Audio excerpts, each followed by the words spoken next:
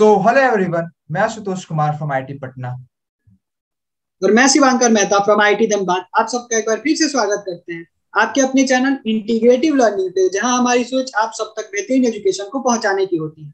जैसा कि JEE main का एग्ज़ाम नज़दीक आ गया है तो जितना इम्पोर्टेंस जेई मेन में पढ़ाई का है या फिर किसी भी एग्ज़ाम में पढ़ाई का होता है उतना ही इम्पोर्टेंट टेस्ट का भी होता है. हम्म। तो हम आज इस वीडियो में मेनली तीन टॉपिक को कवर कर रहे होंगे कि टेस्ट देने का क्या इंपॉर्टेंस होता है तुम्हें कैसे टेस्ट देना है और उसको एनालाइज करना है और फ्रीक्वेंसी क्या होनी चाहिए।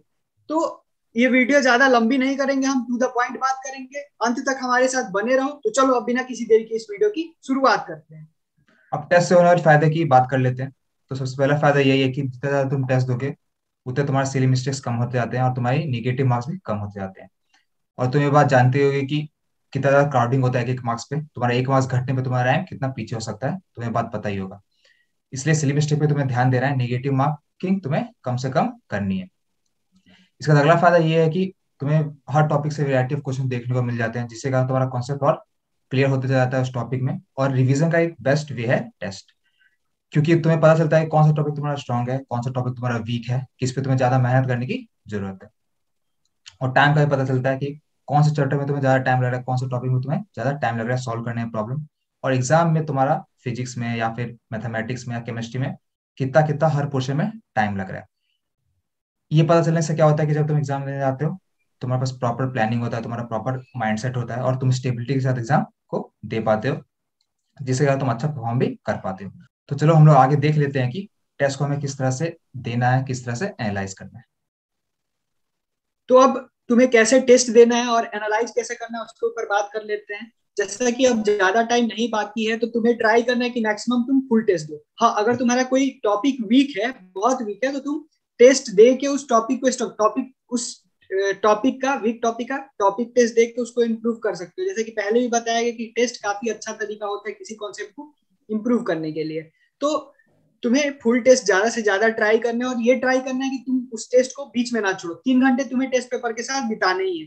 उसके बाद जेई मेन में एक और इम्पोर्टेंट बात ध्यान देने वाली है, वो ये है कि तुम हमेशा केमिस्ट्री के साथ स्टार्ट करो और फिजिक्स और मैथ में जो स्ट्रॉन्गर पोर्सन है, तुम उसको पहले अटेम्प्ट करो और लास्ट में वीकर पोर्सन को अटेम्प्ट करो। इसके अलावा टेस्ट देने के बाद तुम उसको एनालाइज करना सीखो। एनालाइज करने का फ़ायदा बहुत ज़्यादा है। एनालाइज करो कि तुम कितना निगेटिव कर रहे हो, तुम कितने सिली मिस्टेक्स कर रहे हो, किस सब्जेक्ट में कितना टाइम दे रहे हो। इन सारी चीज़ों का फ़ायदा तुम्हें एग्ज़ाम में देखने को मिलता है।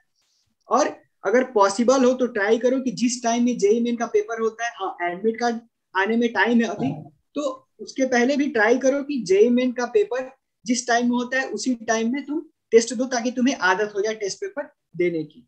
इसके बाद अब बात करते हैं कि आखिर फ्रीक्वेंसी क्या होनी चाहिए तुम्हारी टेस्ट पेपर की। तो तुम जान चुके हो टेस्ट का कितना इंपॉर्टेंस रहता है तो तुम्हें टेस्ट कैसे देना है। चलो बात कर लेते हैं कि फ्रीक्वेंसी क्या होनी चाहिए।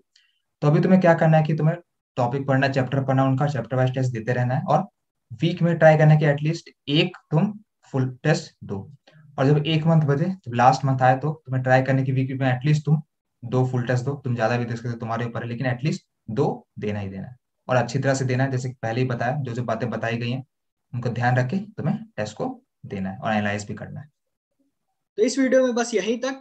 जेई मेन में फिजिक्स केमिस्ट्री और मैथमेटिक्स से आने वाले जो इम्पोर्टेंट चैप्टर्स हैं उन चैप्टर्स के ऊपर ऑलरेडी हमने हमारे चैनल पे वीडियो अपलोड कर दिया है, जिसके प्लेलिस्ट का लिंक हमने आइटम में प्रोवाइड कर दिया है, तुम वहाँ से जाके एक्सेस कर सकते हो। तो अगर तुम्हें ये वीडियो पसंद आई हो तो इस वीडियो को लाइक और शेयर करो, साथ ही साथ हमारे चैनल को भी सब्सक्राइब कर दो और बेल आइकन को प्रेस कर दो, ताकि आगे आने वाले दिनों में एजुकेशन से रिलेटेड वीडियो एजुकेशनल कंटेंट तुम्हें इस चैनल के थ्रू मिलती रहे। तब तक के लिए thank you and all the very best